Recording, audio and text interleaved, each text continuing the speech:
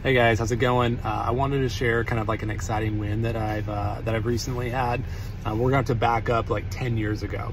Okay, so uh, I've always been like really passionate about uh, helping small businesses uh, with like processes or just basic business principles and just helping like implement those kind of things and you know helping businesses grow.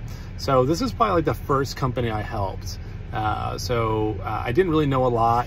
I was really, really passionate about it, but uh, I was really green. So anyways, company believed in me. They're like, yeah, I mean, if you see some solutions to the problems that we're having, you know, you can help us out. So um, I worked with them quite a bit and we were able to get their numbers up and we kind of solved a lot of the problems that they wanted to solve. And, uh, and they've been crushing it ever since.